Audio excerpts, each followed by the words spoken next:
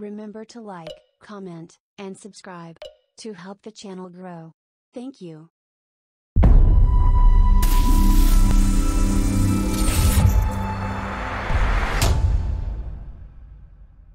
Hey, welcome back to Blar. Today we're going to take a look at these monster trucks from Hot Wheels that I found at Dollar Tree.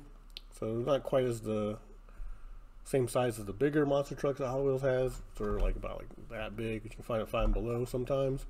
So you can see they're a little more plasticky up here.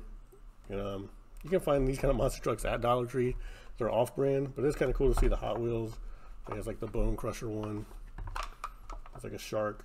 So a little more uniqueness to them, plus they're Hot Wheels branded, which is nice. So they're not part of a series, it looks like. Looks like they're maybe just something really cheap they came out with. Let's open up, um, just one of them. We'll open up this blue one, see how it looks.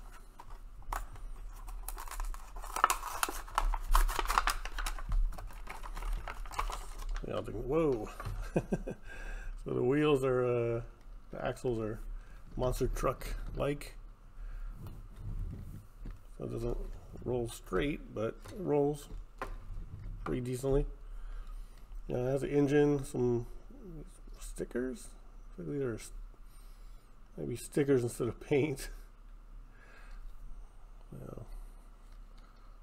Focus that in a little bit over here. So very plasticky. Still kind of go for a dollar. Not upset at this purchase. And so they had a few. I think there might have been one more. I'm not sure. I think this might have been. I thought there was a gray one I picked up as well.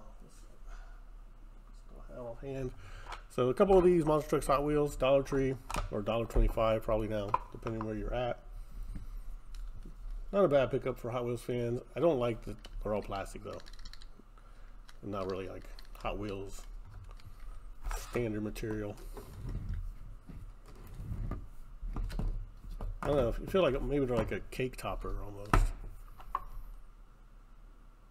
doesn't really say what series or anything they're from. But anyway, thanks for watching Triple R. Have a good day or night, wherever you are.